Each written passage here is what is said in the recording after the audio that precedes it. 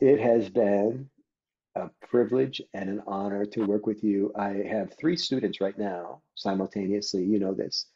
And hmm you have been by far the most professional, the best with the follow through, and you've had your challenges. Uh, but uh, just, I wish everybody was as uh, spongy and interested in learning as you are. Oh, I appreciate it. I think I have a good teacher. Let me start there. Thank you. It makes a ton of difference because, uh, like I've said before, it's not just me building trust with you, it's you building trust with me. Mm, To think, um, like you said, you've said it very in the very first call. Your brand name is attached to me now. yeah, in the beginning it started that way, which means you're putting faith in me, which means a lot to me. So that accountability and just having that faith in me, especially um, I'll say this because I'm saying this because uh, people find it hard.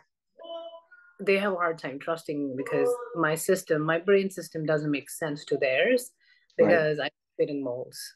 So to get past that, um, and then having faith, um, that speaks a lot about you as a person. Oh, So thank you.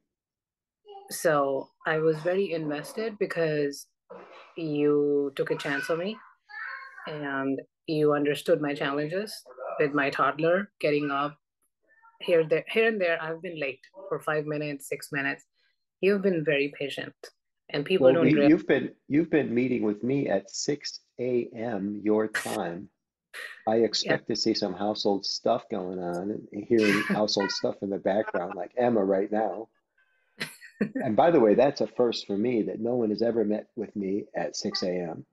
Oh, That okay. showed me early on how serious you were about this and how committed you were, Yes. you know, because nobody does this voluntarily. Um, yeah, let's keep in touch, okay? I'm available to you for counsel, and I want to share in all of your successes. So don't don't be a stranger. No, I Good, good. I hope so. Thank you. Navi. Thank you, Michael. Appreciate it.